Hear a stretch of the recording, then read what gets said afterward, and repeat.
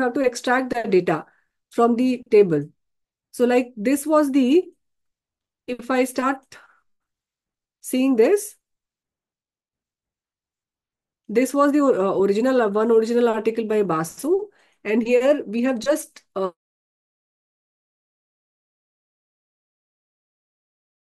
control group. The two outcomes like average highlighted, but we are only seeing the uh, this is again see, but I, I want to know the total duration of diarrhea, which is this one. 121 days. Uh, sorry, 121 hours. Because here it is writing duration here. It is writing in hours. And this again, 143. Coming to the next, like study by Dalgic.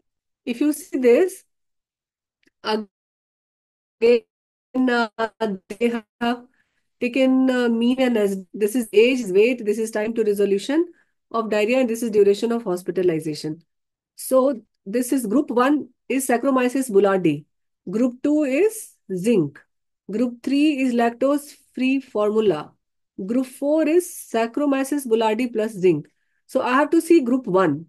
So this is group 1.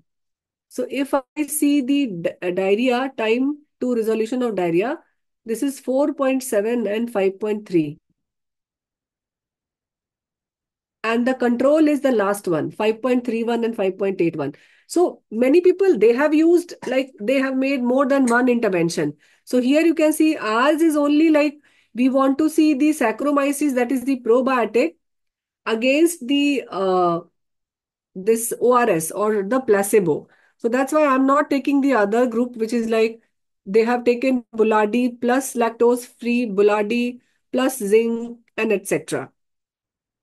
So that's why probably Dalgic has so many varied entry because of the intervention. So you need to see carefully in the table uh, which intervention is important for you, which you have defined as intervention. So you have defined only as a probiotic as compared to the standard therapy, placebo or no treatment. This is the Dinleyici and here the, you can see the mean duration of diarrhea before intervention and this is the duration of diarrhea later. Again, they have given it in the hours. This was the data this we have taken the snip of the table. This is Dinleyici 2015. Here, the duration of diarrhea in hour. Again, this you can see hospitalized children. Saccharomyces group, it is 83 and 114 in the control group. Similarly, emergency care also they have defined and then outpatient. So now if you have to enter this, you need to enter this data thrice hospitalized children, ambulatory and outpatient. But if you're if you don't want that much of heterogeneity, either you can do the data entry separately. So what I mean to say that you have to enter Dinleyici thrice, keeping control the same. Here control is different. So in all the cases, control will be different and the author name will be entered. So one data of one author in one row. Remember, one row is for one outcome, one author. So in this case, if there are three, you can see there are three groups and all these are like depending on the different type of population. So if you wish to have all the three, then you need to enter, it is again like study subject. So one study will be in one row, but again, if you want to take another data, that means if you want to take the emergency care unit, then again you have to enter the Dinleyici once more in the row. I will show you how to do that. That's the main trick of entering the data for meta-analysis.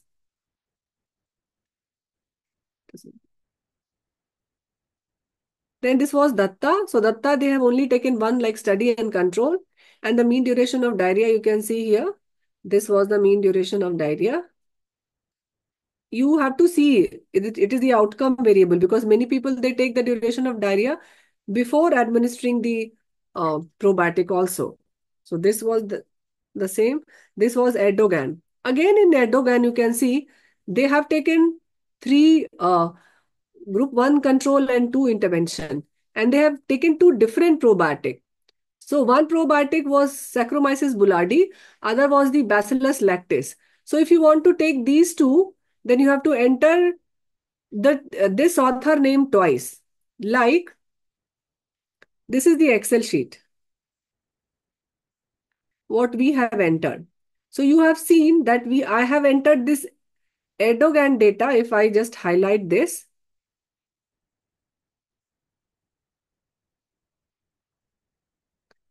So you can see I have taken like mean intervention, then standard deviation number and control. This is 168 and this is SD. So this data I have taken 158.4. If I see the table, this is one. I have converted that because it is in day. I have multiplied this 6.6 with 24 and then I have taken it in days. So this 3 is, if you see this 3 is ORS, which is the control group. This 3 is ORS, which is the control group. And these two are intervention. So in one row, I have entered this Saccharomyces boulardii. And in the other row, I have entered the Bacillus, this one. This is for the bacillus. So that's why I have written star and dollar. And in the uh, bottom, you can put like star is for bacillus and dollar is for the uh, Saccharomyces. So control will be same. If you see the control, they are same like uh, your number of control, the mean of control and the standard deviation. This is same. But the intervention, I have taken two interventions like 98.4 and uh, 158.4 depending on the strain. So you can you see like I am entering this uh, author twice. Similarly, you will have to do for the uh, Dalgic, which I was telling you. The more intervention, the more you have to uh, take, like, if it comes in the inclusion criteria of your intervention. Yes, I think one participants have asked some question. Let me see. Chat. Can you show me? Asking something to the data entry related. Can we enter a pool data? Pool means I have not understood. Do you want to take a mean and then enter? Pooled means I haven't yeah. understood. Hello, ma'am. Uh, can Hi. we just add all, all those cases and controls? Uh, I mean, for the cases, uh, suppose here it is uh, one side it is 25 and 25. Can we add that to make it 50? Like that only we can, uh, no. is it possible? No, because there are two different intervention group is different. It is not the same intervention. So that's why you should not, because if you see this, am I audible to you? Yes, ma'am. Yes, ma'am. It is audible. If you see the intervention, the one is intervention with the uh, this uh, Saccharomyces, and the other is with Bacillus. Bacillus lactis. So if the author has given two, if the author have like given a pooled one, then that is okay. But if they have given like this, you need to enter it separately. You cannot make it 50 as an intervention and then like make it an average and like make a pool data. Ideally, we should not do that. Okay, ma'am. Ma'am, uh, in the previous study, uh, where it is mentioned the the probiotic is same, but the uh, hospital setting the setting is different. Like in one uh, group, they they made the intervention in the hospital, one in suppose in emergency ward. So those data can we pull up like uh, for cases they, that all also, the hospital cases? No, I no, you cannot pull that. That also you need to enter that thrice because how will you do the subgroup analysis?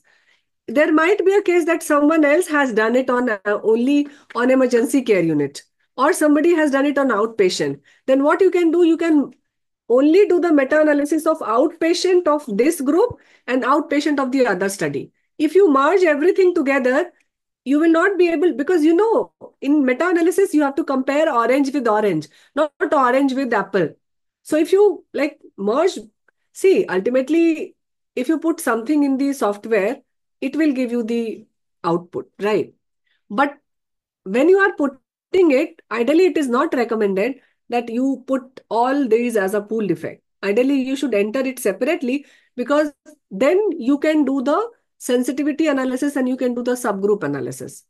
You can only select such population because population of emergency care unit and hospitalized and outpatient, it will be different. That's why they have done in the 3N. If you will see, they have seen like here, they have not found much difference. Emergency care, if you see 18.6 and 20.2. Whereas in, in here in this case, the difference is more in case of a hospitalized. Similarly, in case of outpatient, if you see the difference in mean, it is very less. It is only 1. Point, uh, like 25.2 and 24, 1.2. Because there will be difference in giving the intervention. In outpatient, you are not, I mean, the person who is taking it, you are not sure whether they are taking it or not, or they are going for some another treatment. Those data is not available with you. So it is not very much in control of the investigator. So by seeing the difference only you can make out that if you see the difference is largest here, you can leave these data if you don't want. Because if you want your study to be homogeneous in case of like hospitalized, but what we recommend, don't leave the data. You should enter it in Excel sheet. You can apply filter in Jamovi and you can do a separate, I mean, you can select studies which you want. Did you get it? Got it, ma'am. Thank you. Are you convinced? Yes, ma'am. Yes, ma'am. Okay. Thank you. Thank you, ma'am. Because we have seen, like, we don't apply that much of homogeneity, but we were going through the Cochrane, they they extract, I mean, they try to make studies so homogeneous. We thought like we enter everything in Jamovi and we like report I square. That's how like even we have done it. I, I should not say, but after we have done it, and then we, we were going through the Cochrane studies, and then we thought, like, my God, how much uh, like uh, with accuracy they are doing it. We may not be that much accurate, maybe because they are like the highest bodies of evidence making and doing the systematic review and meta analysis. But at least we can try and do whatever is possible within our uh, limit. So that's why uh, we, sh we should not pool the result. Rather, what you will do, you will enter this Dinleyici 2015, which even we have not done it three times here in the Excel sheet. I have only entered it once. So I will enter it five, then again Dinleyici, and then again Dinleyici. And here in the remark, you can put like here the inter it uh, the setting or the population was uh, in the ambulatory uh, group, in the emergency setting, and probably in the outpatient. That will help you to, you know, differentiate. Are you getting it? Complete silence. Someone can put something so that I will be able to. Yes, madam. Yes, madam.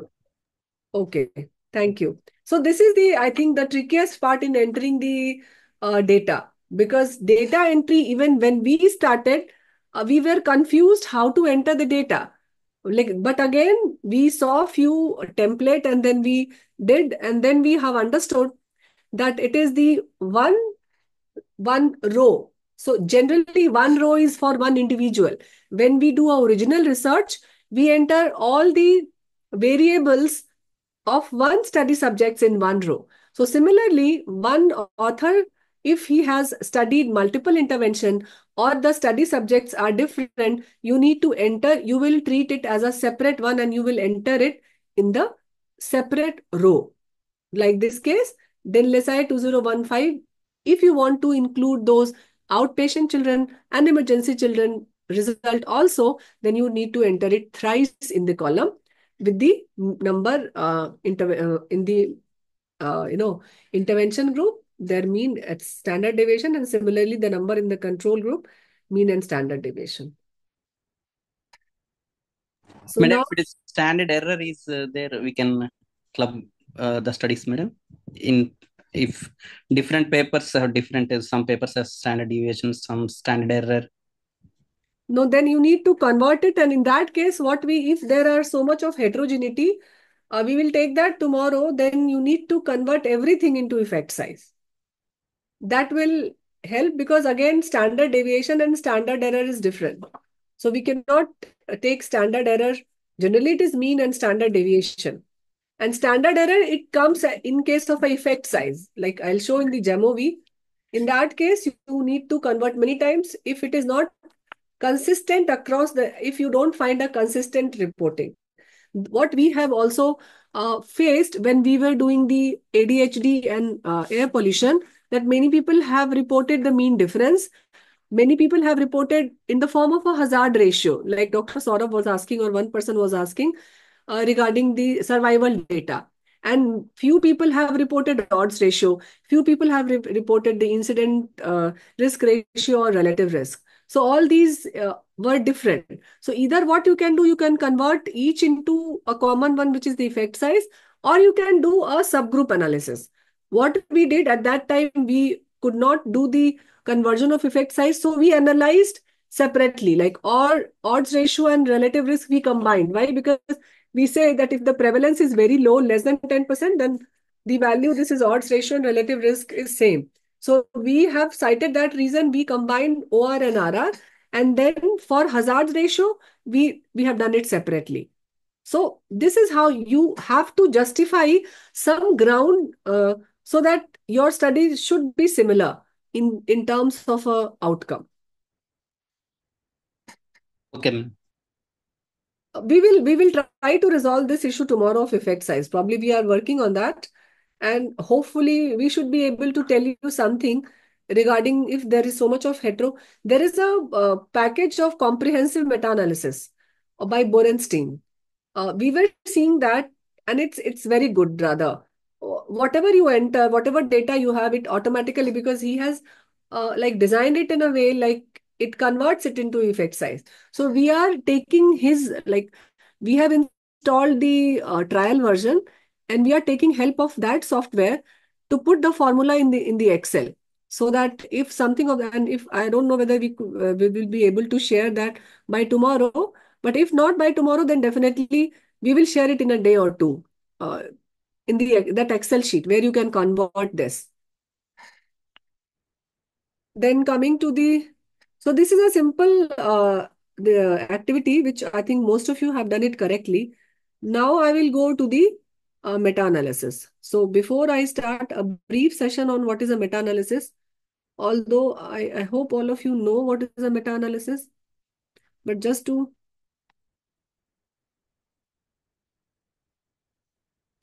so if you can do the meta-analysis, this decision, this, this decision will be taken after seeing the outcome.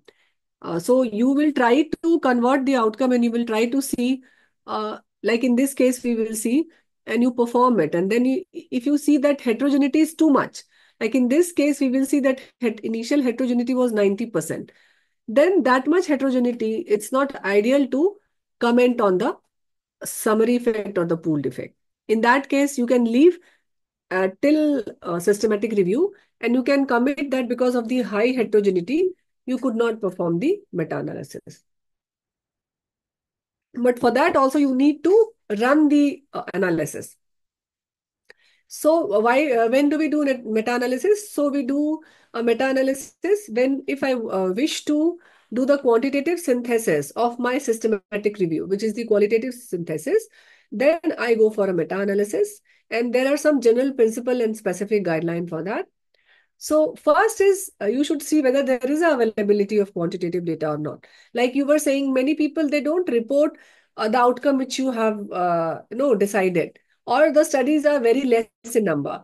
So in that case, if there is a uh, data, um, the research question which you have formulated, if you don't get the available data from the studies, then it is difficult to conduct meta-analysis. There should be consistency across studies. What I what do I mean by consistency? Consistency means like seeing the uh, the subject, study subjects, their age group, and you know their uh, the uh, comorbid conditions, the length of intervention. If some intervention is three days and if the other is one month, that much varied you can't take in meta-analysis. In that case, again, you will club like a duration less than 10 days or maybe 10 to 10, 20 days, something like that. Then uh, you should have a sufficient number of studies. Again, this is said that even with two study, you can perform a meta-analysis. So sufficient number, it should be at least two. And then there should be homogeneity of studies, which we decided on the basis of a statistical measure. and statistical feasibility should be there. So in the, the specific context for our example, if you see, uh, we should see the uh, feasibility of the outcome. In our case, since we have selected a study where you could find all the outcome generally. So we have taken the duration of uh, diarrhea, the mean duration of diarrhea. And the second thing we have taken that uh, proportion, how many of the children, they're still having diarrhea more than four days. So for this outcome, we will see the number of children with diarrhea lasting four or more days in both group. And if they, uh, this data are available, we can calculate the pool odds ratio. So first is we have to evaluate the heterogeneity. So once, uh, and this I think you will evaluate when you are writing your systematic review, you are going column wise. So you know each and every data which is there in your study. So when you read that and when you synthesize that, you come to know whether you can perform meta-analysis or not. Seeing the age age group, seeing the intervention, the seeing the no uh, how the outcome was measured, and the outcome which you have defined, whether you are finding that outcome or not. And if heterogeneity is too high, then you cannot. It's not advisable to do a meta-analysis. So, like in this case, you can see here we have uh, given you the uh, the various, just a snip of the studies like Basu, Chen, Dalgic, Dinleyici 2014 and 2015. And uh, this was, uh, we have changed the data point for the demo purpose. Actually, you will not see this.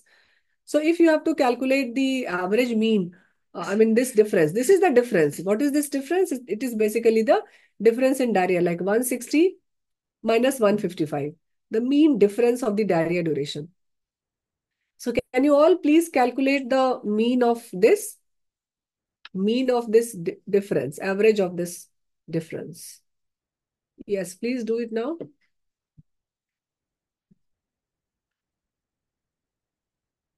Dr. Hari Prasad, uh, we will see how to find the percentage of heterogeneity that we will see in Jamovi because we need to do run a statistical package for the calculation of heterogeneity.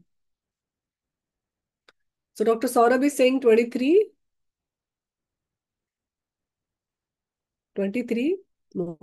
So 23. So can I say, can I take the average and say like the pool difference is 23?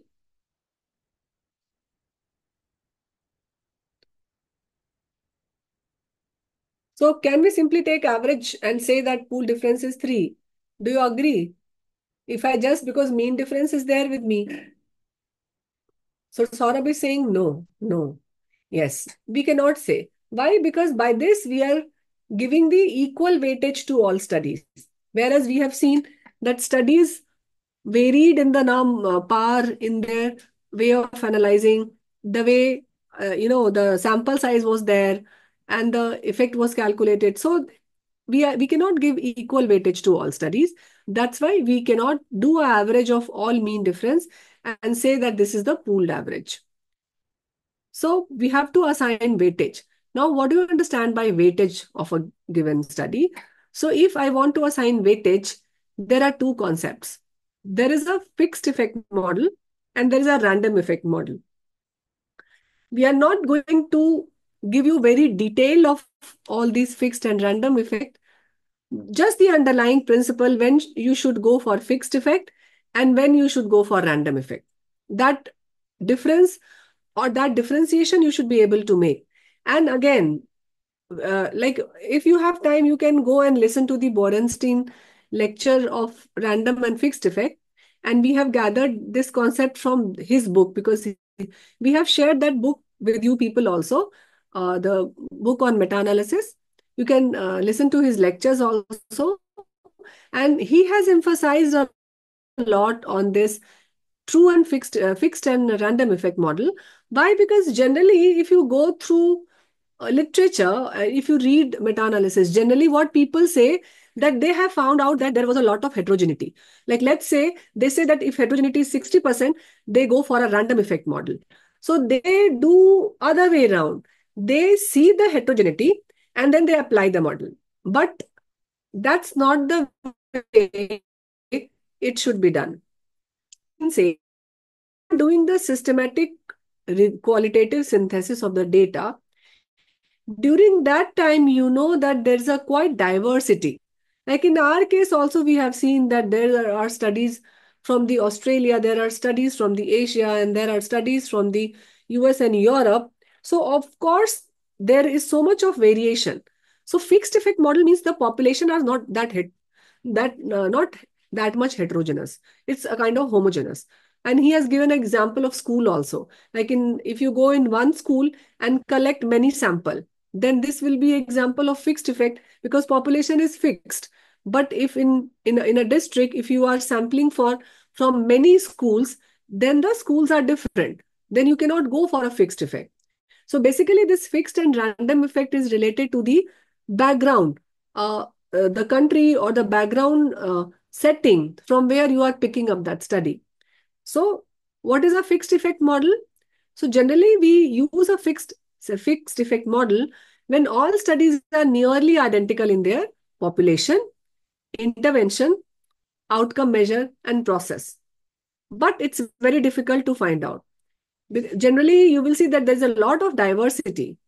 And this model assumes that there is only one true effect size. So you can apply the from the concept of population. Means generally, remember when whenever we do the original study, what we say? We say that the population mean we don't know. So through study mean or through the sample mean, we predict the population mean. Similarly, here we, we talk in terms of effect size. So here in this, this model assumes that whatever studies we are we have included. So about because ultimately what do you want to say? We want to do the external generalizability. Why are we doing this meta-analysis? I think I forgot to insert that slide. The because there is why there is a need of meta-analysis? Because if there are small small studies everywhere some studies are saying that you should go for probiotic. Some studies are saying that no it is not effective. So as a, as a clinician i will be confused what to do whether i should giving i should be giving the probiotic or i should not be giving the probiotic. Since all the studies might be like in this case you can see done on smaller sample size.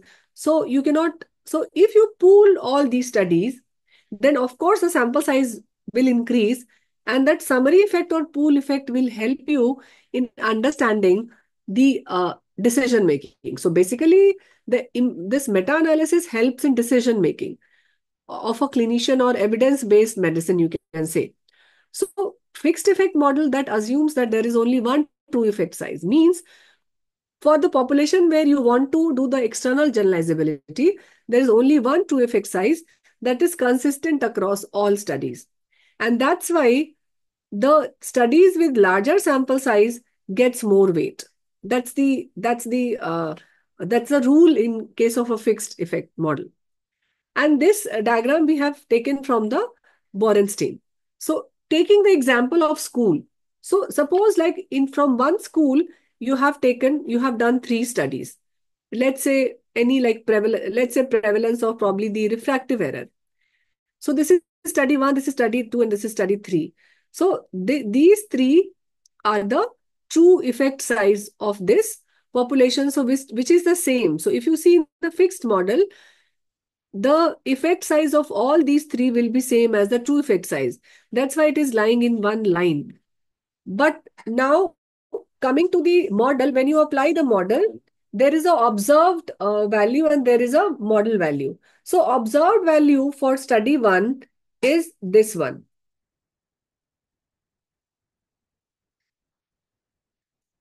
This cube is the observed value for study one. This is observed value for study two. And this is observed value for the study three. This circle which you are seeing here, they are the true effect size.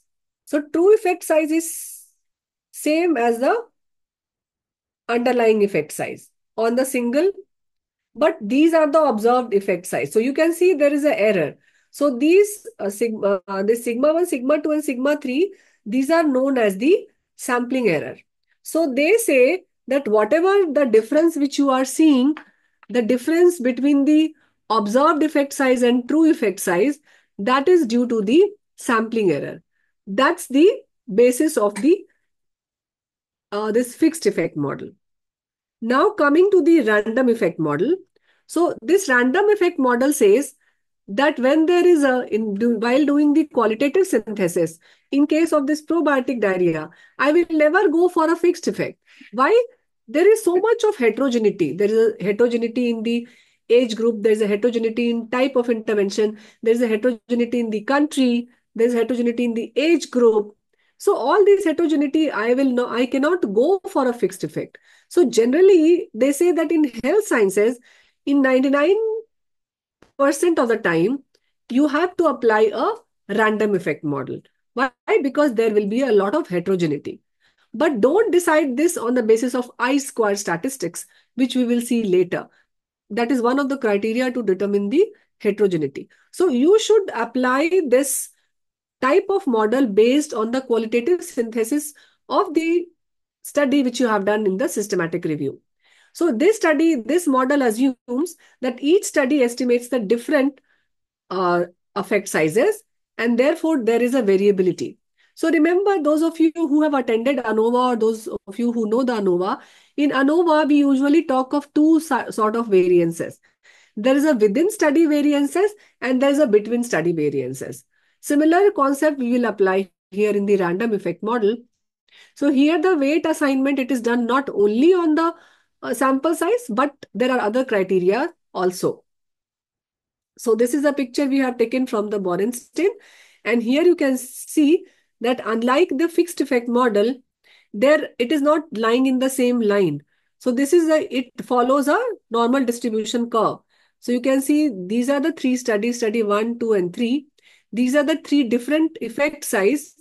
And this is the actual effect size, I mean, the of uh, the overall population. So if you see this for study one, they have only given the example that this is the sampling error. So for study three, if you see, you need to have two error. One is the sampling error, which is the within study variance. So this is the within study variance, which is the which will be there, of course, due to sampling error. And there's another variance, which is the tau. So this, they call it as a tau or they call it as a standard deviation in case of a random effect model. I don't know if you are not able to understand, no, no problem. You just, this is fixed. Yes. So they say, you just remember that there are two types of error in case of a random effect. This is there with the fixed effect also, sampling error. But here, there is a sampling error as well as there is this tau, which is for the heterogeneity. Okay. So now we will understand what are the various elements in meta-analysis. So Dr. Soptik is asking, ma'am, mostly in many numbers of review article, Yes, random effect. I said that even Borenstein says that in health sciences, whenever, like in case of India, let's say, I said that many people are now, now going for studies only in India.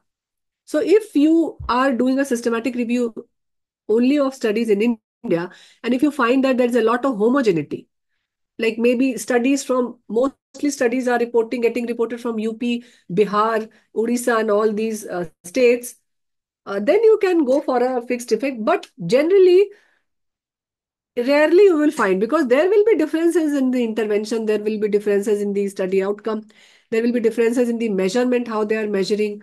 So random is always safe to go. You can always apply a random effect model. That's what I'm just quoting what Borenstein has said. Uh, because we are also following the standard textbook and standard like people who are well known in this specialty. So this is like uh, one research meta-analysis of cardiovascular outcome trials. Yes. So this example again, uh, you will get this in the book which we have shared. Meta-analysis of cardiovascular outcome trial comparing intensive versus moderate statin therapy. So here you can see uh, this is a forest plot and uh, there are various columns here you can see there's a study name, there's a risk ratio, which is the effect size, relative weight of the study. This is the plot and this is the p-value. So if you see, uh, you should start the and you have to enter the data like this. So first should be the first name of the author. You can type the uh, year also, and then comes the effect size or the in our case um, it is not the effect size rather it is a mean and standard deviation. And then the relative weight this you will get uh, from the analysis. And then this is the forest plot. What are the elements of forest plot? And then you get the summary. At the bottom you get the summary which is the pooled effect size. This one is the pooled effect size the diamond here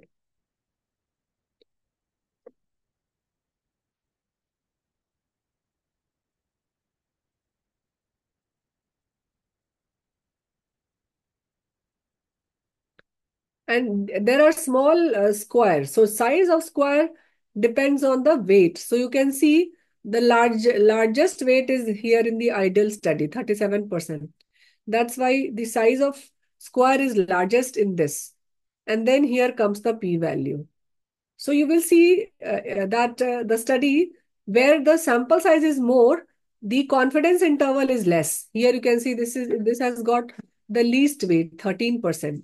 So that's why if you have to see its uh, value from where it is extending, you can see the what the horizontal spread is more as compared to this study of ideal. So the uh, if you see the uh, sample size, the larger the sample size, more precise the result will be and it will get more weight. And you can see here, uh, this is one, which is the null. So in case of effect size, one will be the line of null. And that we will see in Jamovi. Because when you do the analysis in the effect size, Jamovi always gives this null as uh, 1. And then you have to see how you are going to, uh, many times you have to draw one line. And then uh, this is 0.8. Here you have to write favors high dose. And this is favor standard dose. So you can see the pooled effect it is saying that high dose if you see the title of the study,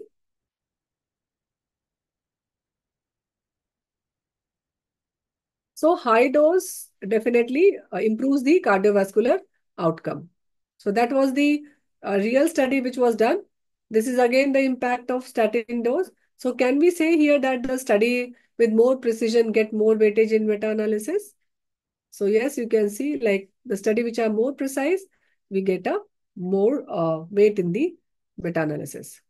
Now, there are few terms uh, which we will see in the Jamovi, but uh, what we have thought that we will explain that now, and we'll again repeat that when I will show you how to do the meta-analysis in Jamovi. So here you can see this one. So this is the uh, this diamond, and if you see the edge of this diamond, so you can see like this and this. This is the confidence interval of this pooled estimate. So you can say the confidence interval is from 0.8 till, let's say if it is 1, then it can be 0.9. So that is the confidence interval. So what is the confidence interval of the pooled estimate? So basically the confidence interval gives you the range uh, like the true or the pooled estimate. Uh, it will show like 95% of the width. In this case, we will see like it is the 22 hours.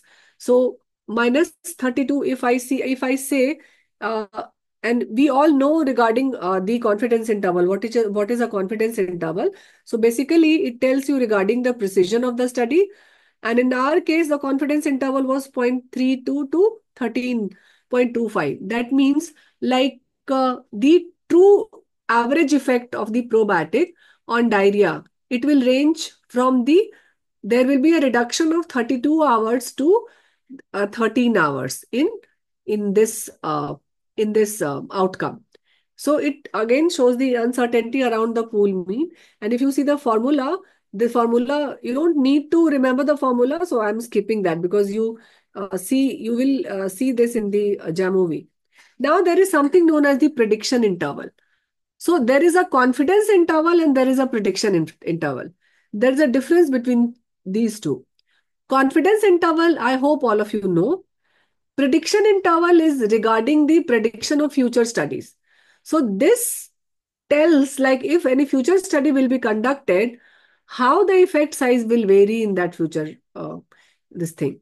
So you can see, like in this case, uh, it was like minus 56 to 10. We will see that. So it will tell you, like if this say the study, this study will be conducted in future. So the spread of effect size can be from minus 56 to the plus 10. And this is in this case, for the prediction effect, you need to have another this thing, which is the tau which is the between study variance, which we just, just discussed in the random effect model. Remember ANOVA, between study and within study? So this tau is the between study variance. Now this tau is the also known as the standard deviation of the true effect size uh, across the included studies. And this is a heterogeneity statistics.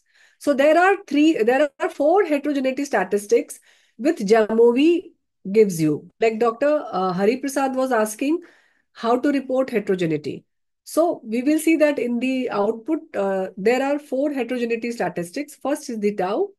Tau gives you the standard deviation of true effect size. So it suggests regarding the variability of the effect size between the study. There is another heterogeneity statistic, which is the tau square. So when you square the standard deviation, it gives you the variance. So this tau square is the variance of the true effect across the study, uh, different study. So how tau square means a large variability in the effect size. Then comes the I square. And most of you will see that people report this I square. So what is this I square?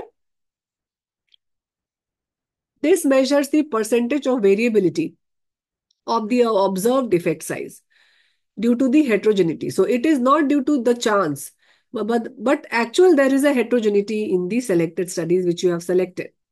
So if there is a uh, up till 75%, it is okay. But more than 75%, generally meta-analysis, so like 25%, uh, 50% is okay, very much good. And after like 75% or more, you should not perform meta-analysis because it will suggest that it is uh, very much, uh, studies are very much heterogeneous in nature. Okay, so Soptik is asking me to repeat the confidence interval. So basically the confidence interval, I will again repeat it, uh, Soptik, when we will see the actual data. I am just telling you the concept. Mohit is also asking me to repeat.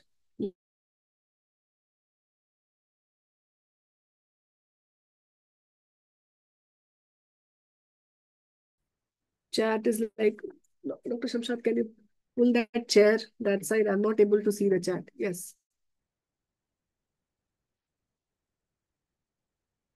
Uh, relative weight means weight. Uh, okay. So, uh, can you go above, above Mohit? Mohit, above Mohit. Kindly repeat. Okay. So, uh, repeat the confidence interval portion. So Soptik confidence interval, like we say in this case, summary effect.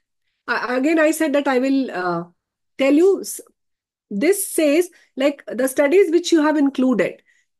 In one, in some of the studies, if I go again back to the, that slide, we will see the result actually. I have not shown you the result.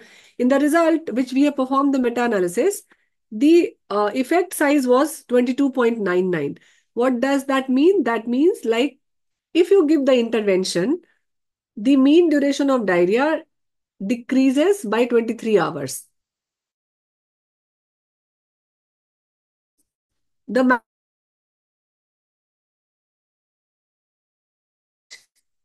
and the minimum decrease will be 13 hours.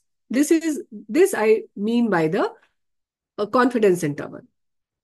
That means if I have to use probiotic, I'll have to see that in my, uh, although the reported value is 23 hours, I may increase the, decrease the duration of diarrhea by 32 hours, or it can be as low as 13 hours also.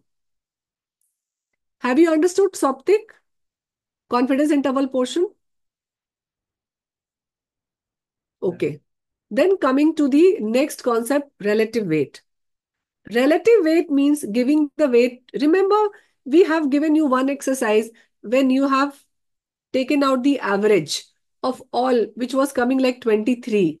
So you took out the average of mean difference. So there you have assumed that all studies are different, and that's why you took the average. I mean, uh, but we cannot do like that because relative weight means when you have done that, uh, uh, you know, uh, in the risk of bias also, you say that studies are of very good quality and studies are of not very good quality. So that you are doing something of a qualitative in nature based on that JBI criteria. Similarly here, that relative weight in case of a random, in case of a true effect, fixed effect model, it is entirely dependent on the sample size. But in case of a random effect model, it depends on a lot of factors. Lot of factor means there, there is a between sub, uh, subject, uh, between study variation, there is a within uh, study variation and taking all these variances into account, this gives the relative weight. So you don't need to go into the detail of uh, calculation of this relative weight. Just think that taking these variability into account, it gives a uh, it gives a weightage to the various studies. Okay. Is it okay, Dr. Chatra? Relative weight means like the weight of the study which you have taken in your meta-analysis. All studies will not be same. Like in this case, you can see, this is the relative weight. Relative weight means the studies which are larger in sample, they have not given the sample size, but you may keep the sample size also as one of the variable because it will help you in writing the uh, if you go and see the sample size definitely this ideal sample size will be very much as compared to this, uh, this prove it study. So that's why the more sample size, the more weight you get. That's one rule, whether it is a fixed effect or random effect. In fixed effect, it is entirely dependent on sam sample size. In random effect, apart from sample size, there are other factors also into account. Because in fixed effect, it is only the sampling variation. That's why you get it. But in case of a random effect, it is the within study variation and between study, which is the tau, heterogeneity, that is also taken into account. So okay. I was, okay. So I was discussing this heterogeneity statistics. So we have seen tau, which is the standard deviation that tells you heterogeneity. We have seen the tau square, which is again a heterogeneity statistics. The most important used heterogeneity statistics is the I square, which is the we call it as I square, but since Higgins has given this concept, so it is also known as the Higgins I square. And you classify the amount of heterogeneity based on the value. So up till 50%, it is moderate. 75% or more, it is, uh, I mean, it is not acceptable at all. And then there's a head H square, which is also known, known as the heterogeneity index. So this is another measure of heterogeneity and in it, which indicates like how much larger than Q statistics it is expected. We will learn what is a Q statistics. So if all the studies are measuring the same effect, if H square value is more than 1, that means it is a heterogeneous. And higher, if the values are higher than 1, like 10, 11, then it suggests more heterogeneity. If H square is equal to 1, that means there is no heterogeneity. Okay, so you should only remember that this H square is also a heterogeneity index. And if it is more than one, then that means there is a heterogeneity. Now there is a something known as the Q test or the Cochran Q test. So Cochran Q test is the, uh, you see the difference between the observed uh, variability and you see that if the values is high, that means it is not by chance. So again, it follows a chi-square distribution. And if the value is significant, with certain degree of freedom. And if it is significant, that means there is a variability. That means there is a significant heterogeneity. So what all we have seen? Tau, tau square, I square, H square, and Q test. Okay, five measure of heterogeneity. Most commonly used uh, is the I square, which is the Higgins I square.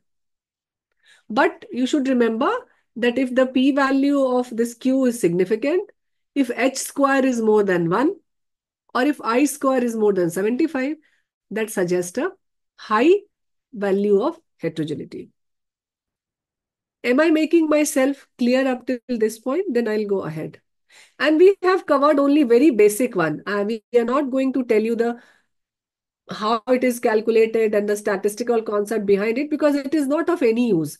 You should be able to understand uh, the result, although Jamovi writes it, but still you should be able to understand. So this will help you in understanding the amount of heterogeneity which are there in your. Okay, so Prashant is saying the values. So values again, the tau and tau square is, you say that it should not be very large, but there is no abstract cutoff. I cannot say that if it is more than this, then it will not be. The only categorical thing is where you can say with confidence that is the I square.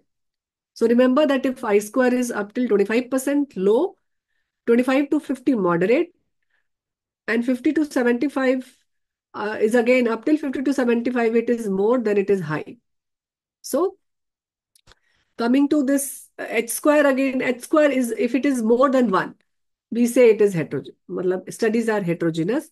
And the value of Q statistics P value, if it is uh, significant, we say that there is a heterogeneity.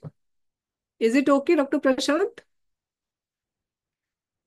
We will again see this value when we do the meta-analysis. Actually, I'm only telling you the theory because when I will explain the result in Jamovi, it will help you in understanding. That's why uh, we are telling this uh, beforehand so that you should not feel that the concepts you don't know or you have not heard of it.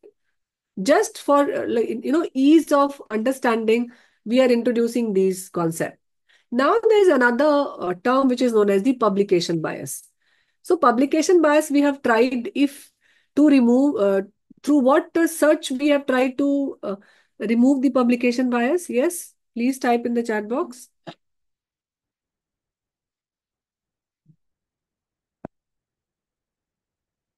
how we have tried for the removal of? That is though statistical. Funnel plot, yes, I agree. But how about the systematic? Yes, Dr. Chatra is right. Gray literature. So if you search for gray literature, like Google, Google Scholar, yes, Swati is also right. A back citation, forward citation, seeing the thesis, ProQuest, Shodh Ganga, all those sources of gray literature if you could retrieve some article, then in qualitative part, which is the systematic review, you have tried to remove the publication bias.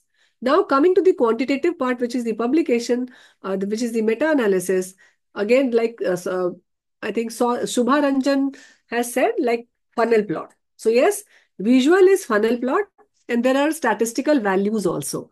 So there are the Jamovi, we are only talking of Jamovi each software has its own way of giving these results and the tests. But since we are, since we know in Jamovi and we are telling you to do it in Jamovi since it is freely available. And I think for all our purposes, it works. It worked and we have seen many articles, it is working. So you can at least do uh, like three or four types of meta-analysis in Jamovi. So coming to the uh, quantitative measurement of this, because funnel plot is a visual. So apart from that, there are other tests which Jamovi gives as output. The first is the fail-safe test. So what is this fail-safe n? Fail-safe n means it gives you the number. So like in this, like uh, today analysis, we will see in this result, it gives you a number like 855. So what is this 855? 855 means that 855 articles with no effect would be required to nullify the effect size. So if the p-value is less than 0.001, it suggests that the publication bias is unlikely. So what is fail-safe n? Fail-safe n tells you how many missing or unpublished studies with null result would be needed to bring an overall effect size to non-significance. In this case, it is significant. So if the value is less than 0.001 or 0.01, uh, I mean 0.05. In this case, it was 0.001. That's why we have written it. Second is your Begg-Majumdar rank correlation. Again, if the, you can see that if the p-value is non-significant, so in case of fail-safe, you are desirous of a significant p-value. But in case of Begg and Majumdar rank correlation, you want p-value to be more than 0.05.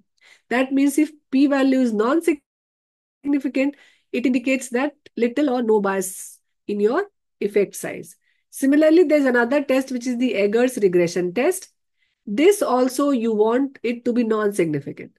So both this rank correlation and Eggers regression test, you want your p-value to be not significant. And in first case, which is a fail-safe n, you want your p-value to be significant. Please don't get apprehensive by these names. These all are there in the Jamovi output. We will repeat it many times. And then there is a trim and fill method. If it the value says zero, that means it did not add to any studies and result is unbiased. So these are the four statistical way to determine your publication bias. And generally it is recommended, funnel plot I will show you uh, where in the output. And uh, it is recommended that if the article number of article is less than 10, then there is no point doing the publication bias. So if the number of included results are more than 10, then you should go for this uh, publication bias. So now I will show you the meta-analysis. So I, I hope you all know about the Jamovi interface or should I start from the beginning, like importing the data and all? Yes, can you help me in deciding?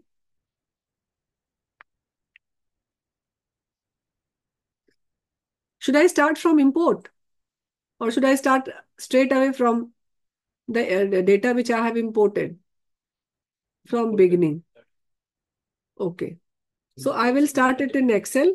Okay.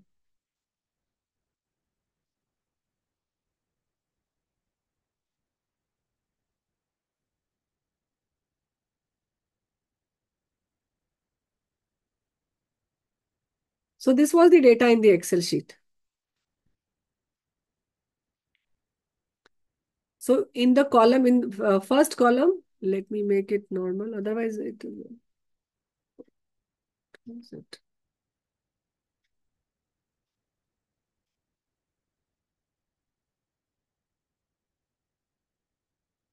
So the in the first column, you need to enter the study name. I have taken the year also. Then in the second column, it's the number in the intervention group.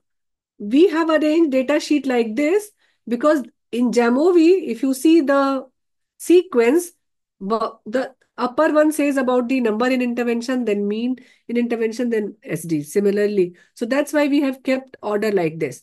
You can keep any order, but you have to be careful which field you are entering into it to uh, in the Jamovi.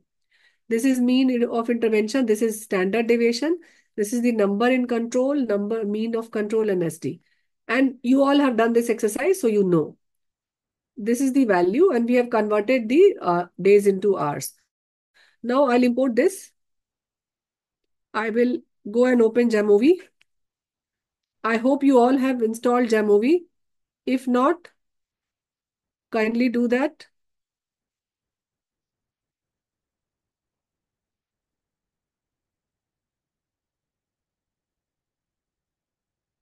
So I have opened a new sheet. Let me close this Excel sheet. Otherwise, I it won't get imported. So this is the uh, blank Jamovi sheet. So how to import data? Yes, Ananya, you will also have the data file. Please uh, share the same file in, okay. We will uh, say, share, okay. Mohit is saying no idea. Kindly give an overview. Okay, I will give an overview. Uh, so this Jamovi, uh, you when you have to install, go to the Google and install the solid version of Jamovi. So in the breakout room, you will be directed or else you go to the Google, type Jamovi download. If you click on this Jamovi desktop, and it gives you both current version and the solid version. So we recommend to download this solid version. If you come down, it will give you like window current solid Mac and Chrome. So generally we have got window. So go for this window solid. You click this and then keep on doing next, next, next, and it will be installed on your desktop. This is the way you can install Jamovi. Now, once you have installed, make an icon in the, you know how to make an icon on the desktop, or you can go from the from this here, and you can click on Jamovi, and a plain sheet, blank sheet will be opened. Uh, now, how to import data? See, you can see there are various tabs here. Maybe if you install Jamovi for the first time, you may not be able to see those, these many tabs. I think you will have till probably factor or frequencies. The, there are various modules. And can you see a plus sign here? So these plus sign shows you the available modules which are there. So you need to install that module. So for uh, this uh, meta-analysis also, so in that, in our case, you can see there's a factor, there's a survival, there's a linear model, J-power, so many are there. For meta-analysis, you have to install this major. So go to this plus and search here in the Jamovi library. So if you click on that, it will show you available and installed.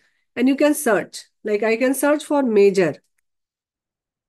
So you can say when you type major, it will write that major is the meta-analysis for Jamovi. And it is an interface for Jamovi and the R package metafor. So if you want to update it, like since I have installed it, I can update it. So I can click on this update.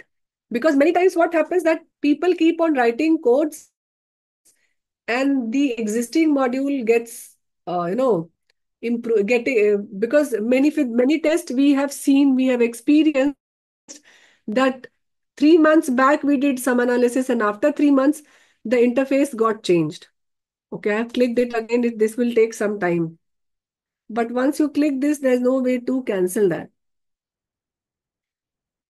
internet speed is also low. I should not have done that, but since out of curiosity, I, I have done that. But for meta-analysis, you have to download this major uh, module from this plus sign once you download this uh, Jamovi software.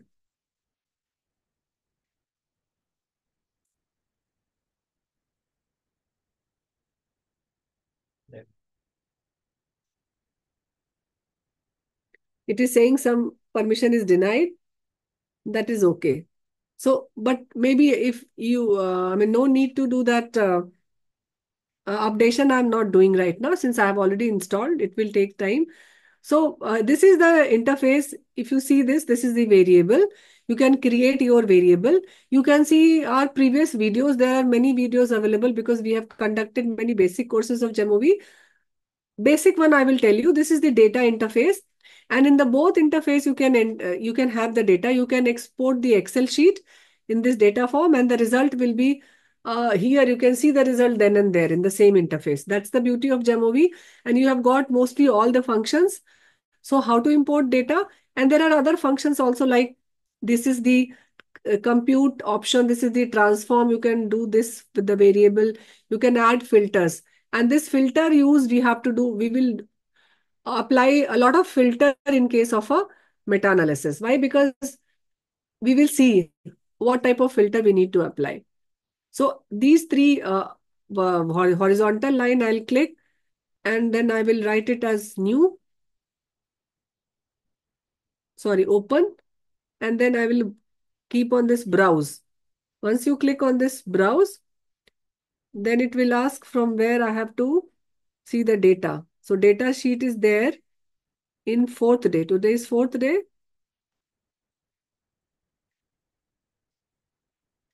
So this is mean SD. I will see the time also. 421, 29, 10. So this is the data I will. And in this file format, you can see it takes all sort of files. So this I will press this open. So you will see that Now you have this 12 studies with you with the number in the intervention. Now you will see that there are some Madam, can you variables. again? Go to this, click on open, browse, Browse. and Browse. show the path wherever you have kept your Excel. Just import that. Since I have opened, that's why I'm not doing it again. Did you get Thank it? you. Thank you, ma'am. It. So you need to change this because all of these are continuous. So you have to click on this double click and instead of nominal, because study will be nominal here, type of study will be nominal. But other, like you don't want it to be nominal, otherwise it doesn't take. So make it continuous. Double click on that variable, change this to continuous. Then keep on scrolling. This is again continuous, mean, SD is continuous. Again, this is a number you, you can do it like, again, this is continuous. SD is continuous. And this is nothing. This is again, I think. So uh, again, you can save this. But once you have done the imported the data, save with the file. So if you have understood up till this point, then I'll show, I'll go ahead and install the module. The module name is major. This one. Right now, don't install other modules. You currently install only the, the basic one, the basic analysis with Jamovi solid, and then install this major for this meta-analysis activity. Are all of you or on the same page? Like, am I making some sense to you? Then I'll go ahead with the uh, showing you the analysis. Can someone say? Okay, Soptik is saying yes. Okay. So I'll go ahead with this data only. There are two Jamovi files, but I'll go. So how I'll go? If uh, I will just go and click on this major. So if you click on this major, you can see so many types of meta-analysis is available. Meta-analysis of correlation coefficient, dichotomous model, effect sizes, mean difference, proportion, reliability generalization. So currently, which which uh, option should I click? You all have to help me. Mean difference. Yes, Mean difference. true. So I'll click on this mean difference. So once you click on this mean difference,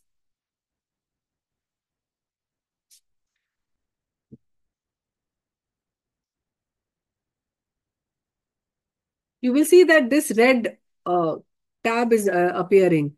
Like sample size mean standard deviation, study label field must be populated to run the analysis. So it is showing uh, missing, uh, ma major is missing. Why? Because it did not get updated because I have opened it. So that's why I will show you on the other one. Wait, I will just close this. Don't say. Because I remember when I was uh, doing it, I just clicked by mistake on the. So let me delete all the analysis. Otherwise, you can uh, con see control and you can remove this. So now I have removed all the analysis. Okay. So this was the interface. Since it did not get updated there, the major one, that's why it was not showing. So now I'll click on this major, mean difference. So what you can see here, first you enter the study. So study comes here, study label, categorical variable. Can you see? It again shows you what type of variable it is. So this flower shows you the categorical variable. Now you can see this is the number in intervention. So we are taking group 1 sample size, group 1 mean. This is the intervention mean and this is a standard deviation. Keep on entering number in the control. You can keep this 1 and 2. It is up to you. Which is number 1, whether it is intervention or control.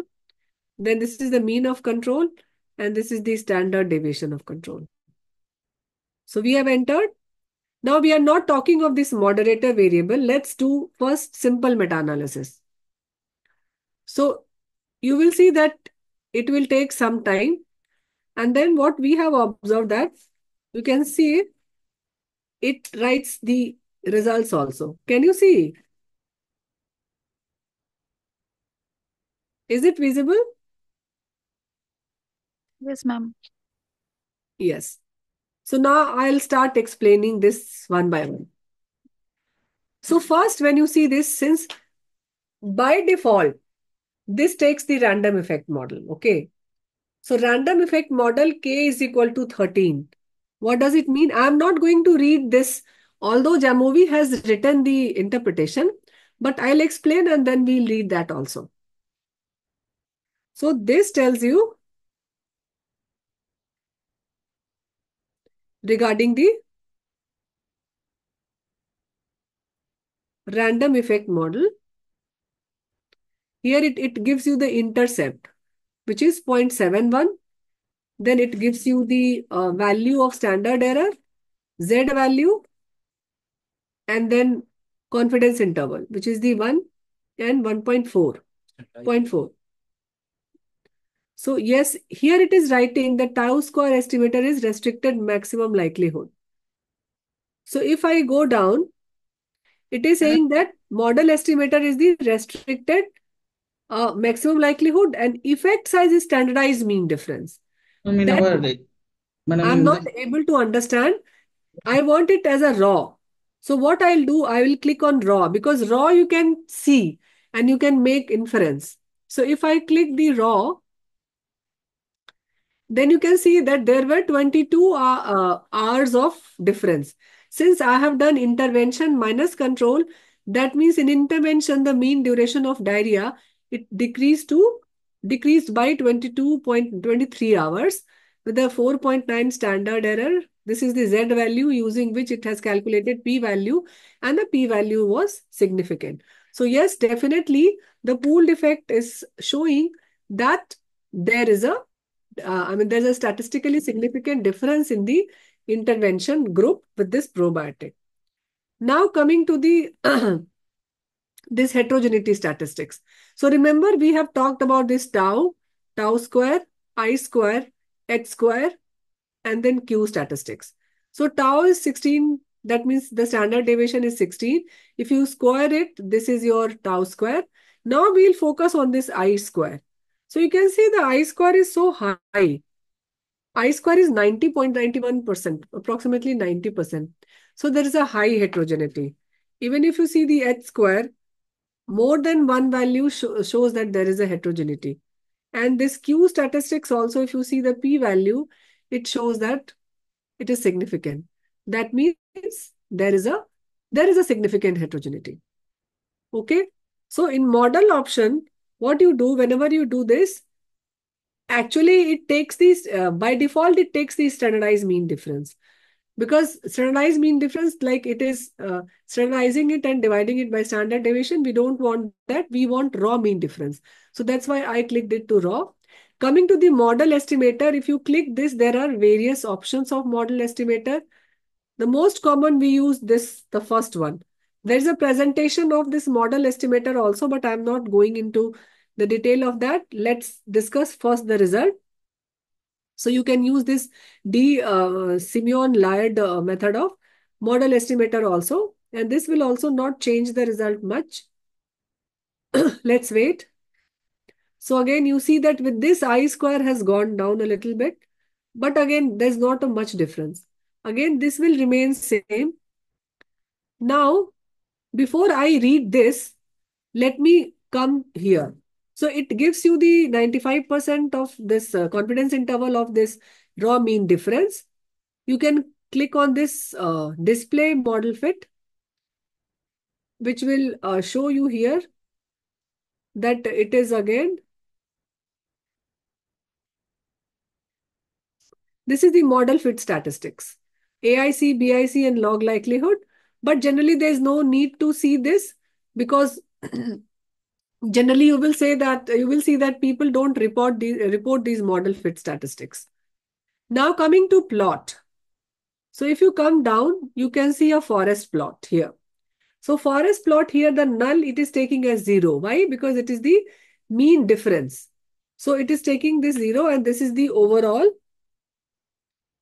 summary effect. So summary effect, you can see it is, and it is giving the summary effect of uh, confidence interval also. So this diamond, this right and left part is giving you the confidence interval. Now, if you want to change the value, if you want weight, right now it, it doesn't give you the weights. So if you want to click the model fitting weights, it will show you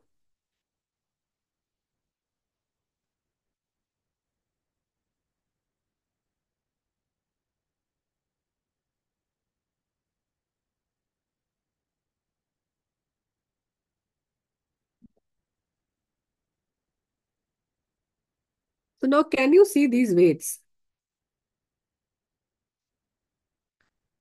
So it has assigned a weight, like weights to each and every study that you should report.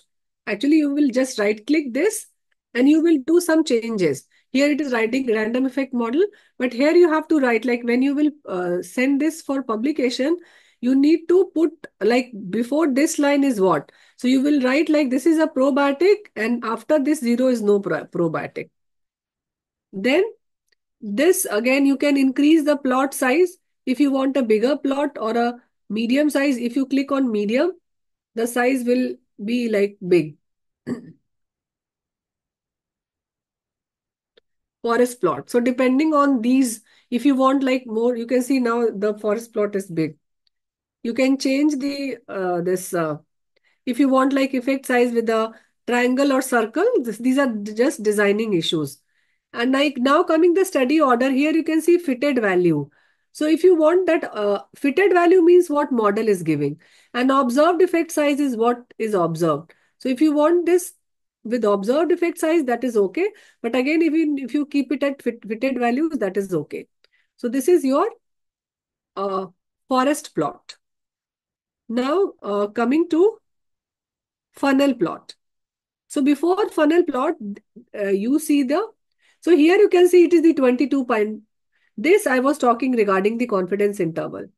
That this is 20 minus 22.85 means in the intervention group, overall, the summary effect shows that there was a reduced duration of mean diarrhea by 22 hours with a maximum reduction of 31.82 to a minimum reduction of 13.87. Dr. Saurabh, did you get it? And Dr. Swaptik, I think you asked, asked this. Uh, yes, madam, it's okay. Okay. So now coming to, this was the forest plot, coming to the publication bias assessment. Madam, Yes, madam, while doing my meta-analysis, it is writing in red that need finite XLMIN values. Pardon, what, what, what is he saying? It's trying. Madam, while doing the meta-analysis, Okay, you are, you are doing it right currently? yes, madam. Okay, that maybe we need to see it in the breakout room because after this we will give a breakout room to you. There you can share your screen and screen and then we need to see where you are, where is the error. Is it okay? Are you connected? Right now you just see and then all that error will be detected and it will be resolved. Don't worry. Maybe there will be some problem in the file type. you have shared the file type, no? Or uh, we'll see that. Coming to the publication. Okay, study study name. Dr. Shamshad is saying that in data, this study, this here, analysis. Okay. Have you put the study label in the here in the study? Yes, madam. Then we need to see. Yes, madam. We breakout room will see. Yes, yes, definitely. Thank you. Thank you. Coming to the publication bias, you can see like these are the four or five tests which we have discussed. Fail safe, it is significant. That means but there's no publication bias. And this p-value, both these p-value, we want it to be non-significant. It is there. And trim and fill is also saying that zero, zero. that means zero studies it is also saying that there is no publication bias. Now, visualizing the funnel plot, if you see the funnel plot, there is a x-axis and there is a y-axis. So on x-axis, you can see there is a mean difference. This line tells you the the uh, pooled effect. So pooled effect was minus 22. You can see here, it is minus 22.85. So this dotted line tells you the pooled effect, the summary measure. And then you see the studies, uh, and you have to see whether there is a symmetry. And these are the standard error. So as you move up, you can see that that standard error is getting less. So this study is definitely outside this and although it is showing you symmetry, but studies are not distribu distributed. So this funnel plot is showing that there is a heterogeneity of the studies as well as there is some publication bias because all studies are not like uh, homogeneously, homogeneously distributed. But again, it is a visual and the above, uh, this one is the uh, statistical. So you can comment on statistical also and you can comment like this forest plot, it is uh, showing that there is a little bit of symmetries there, but not all studies are falling into it. So there is a heterogeneity. Now coming to uh, the other measures. So no, I will not tell you first this. Uh, I am not showing you uh, deliberately that influential diagnostic.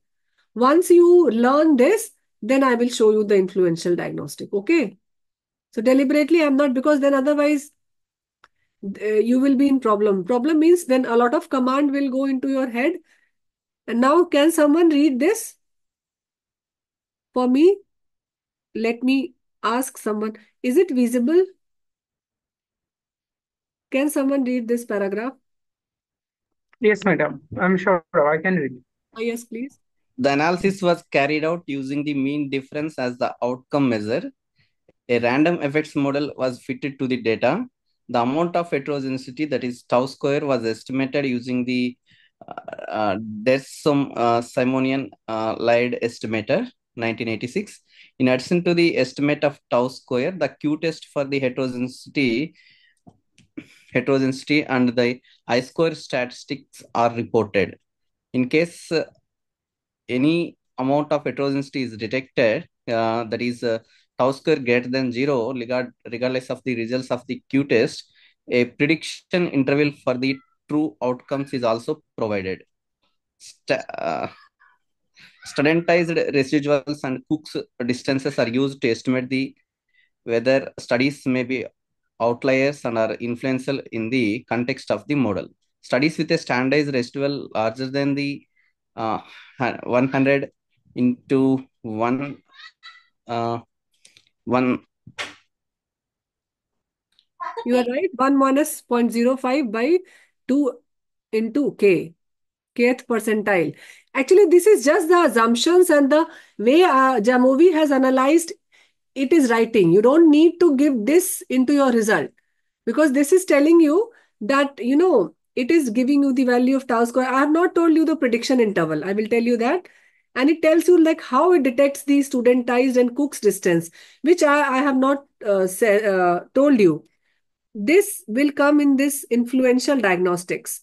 So deliberately, I'm not telling you this right now because once you learn this meta-analysis, then I will show. And then it is uh, showing the Cook's distance. That means it is uh, telling that for influential diagnosis, diagnosis generally in linear regression and in regression, we know about these distances and the studentized residual. Remember, to see that if the data is uh, outlier, we used to perform this outlier diagnostic, which is the Cook's distance and the studentized residual. Here also, Jamovi uses the same concept and it sees whether any study is outlier or not. And we will see that if you remove few studies, your I square or heterogeneity will reduce. But that's the further part of analysis. Let's concentrate now over the basic analysis. So now coming to the another paragraph, the second one, this you have to write in the, uh, no, before that, let me click the prediction interval. So the, here, if you see this here in the forest plot, there is a box and I have checked that for the prediction interval. So you will see that apart uh, from this pooled estimate of this 95% CI, now can you see that a line has appeared here? Can you appreciate the difference without prediction and with? See this now. And if I uncheck this,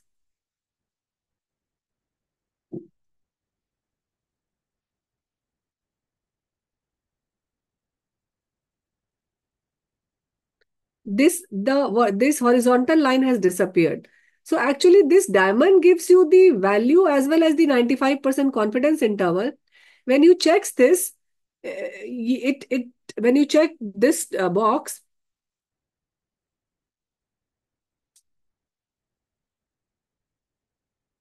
it gives you the prediction interval. So prediction interval, you can see it is going like plus 10 also. So that's what it is writing here. So now you can read this. Can someone read this second paragraph? This you have to include in the write-up. Uh, yes, madam. Uh, a total of k equals to 13 studies were included in the analysis. The observed mean differences ranged from minus 69.6 to 4.8, with the majority of estimates being negative, 92%, that is.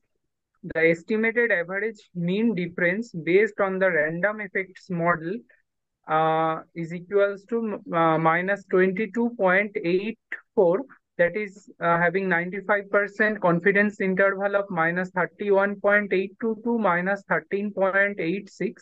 Therefore, the average outcome differed significantly from zero, that is having Z score of minus, uh, 0, uh, 9, 4.98, having p-value of less than 0 0.0001. According to the Q test, the true outcome appears to be heterogeneous again Q12 uh, is equals to uh, 107.6014 having p-value uh, again significant tau squared is equals to 217.41 and I square 88.4 percent. A 95% prediction interval for the true outcome is given by minus 53.10 to 7.41. Hence, although the average outcome is estimated to be negative, in some studies the outcome may be in fact be positive. An examination of the studentized uh, residuals revealed yeah, that one can, this, study... you, this you can leave because I have not told you uh, regarding the studentized uh, because I have not clicked the this out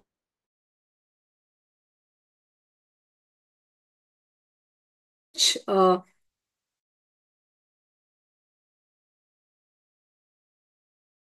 I mean, after this basic one, I'll show you the outlier diagnostic.